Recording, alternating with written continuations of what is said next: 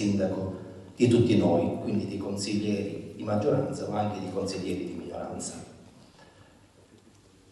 Un augurio lo voglio fare anche al Presidente del Consiglio appena eletto, l'Avvocato Di Carlo. Anche lui ha un compito difficilissimo che è quello di far rispettare i regolamenti e non, non ultimo quello come dire, di rivestire una funzione di imparzialità che è senz'altro la cosa più importante.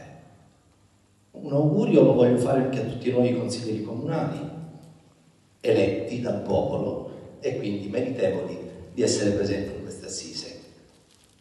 E buon lavoro lo voglio fare anche agli assessori appena nominati con decreto dal sindaco.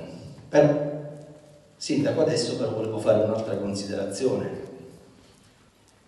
Io ritengo che in questa giunta manchi qualcosa e mi auguro che sia un qualcosa poi destinato, lacuna destinata ad essere colmata nel più breve tempo possibile. Lei sa benissimo che, perché come me ha fatto esperienza nella precedente amministrazione, che questa è una fase molto molto delicata per il nostro comune, che ha bisogno di essere affrontata con tutte le forze che l'ente può mettere a disposizione.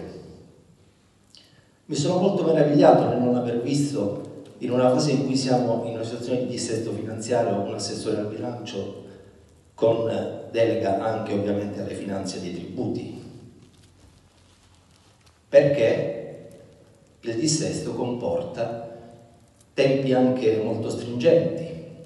Credo che tutti sappiate che questa nostra convocazione è stata dovuta anche al fatto che entro il 27 bisogna dare delle risposte a dei rilievi fatti dal MEF circa il bilancio stabilmente riequilibrato che abbiamo approvato non più tardi del mese di fine giugno, se non ricordo male, i primi di luglio.